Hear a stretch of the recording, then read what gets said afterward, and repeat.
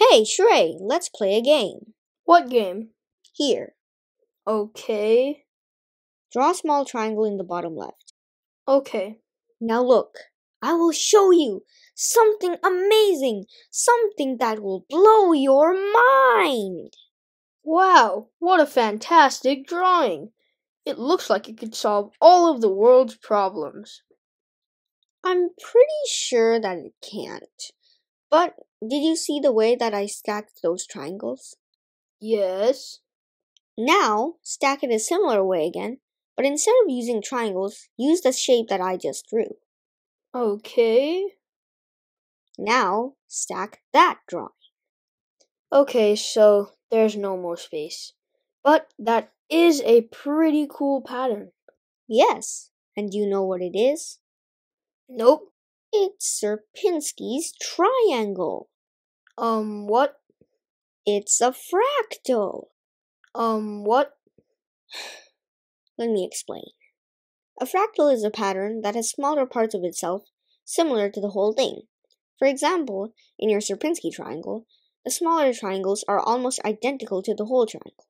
They are not perfect, but if we kept drawing forever and had an infinite supply of paper and pencils, then the smaller parts would always be identical to the larger parts. Hmm, interesting. I know how to make a complete fractal right now. How? Look here. Um, how is that a fractal? Well, you see, the line can be split into smaller parts, and the smaller parts are, well, identical to the whole line. See, I'm a genius. Oh, yeah, I forgot to mention another thing about fractals. What is it? Let me show you. Take your line. How many dimensions does it have? Well, one. Lines have one dimension. Do you notice anything about your line? Um, the line is straight. That isn't what I meant. Take your line and make it twice as long.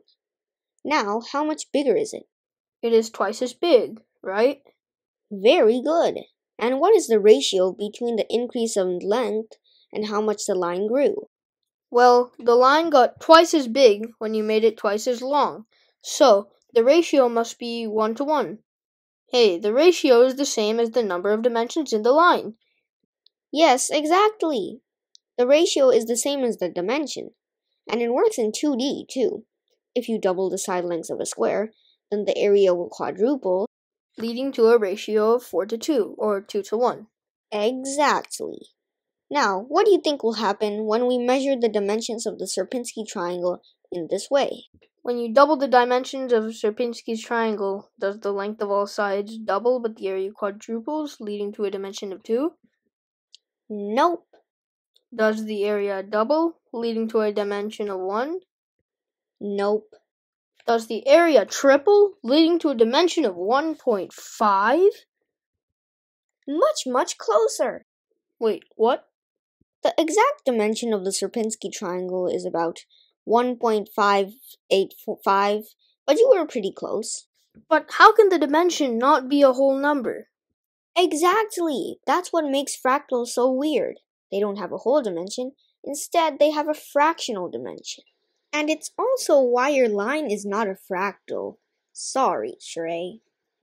Is that why they're called fractals? Yes, exactly. I think I get it now. A fractal is like a drawing with infinite complexity. Yes, exactly. You've got it now. But the Sierpinski triangle isn't the only fractal. Oh no, it isn't. There's also the Mandelbrot set, Julia sets, and you can even find fractals in nature, and that just scratches the surface. But oh, look at the time. I have to go now. Oh no, no, no. Goodbye. Hmm, I think I should go too.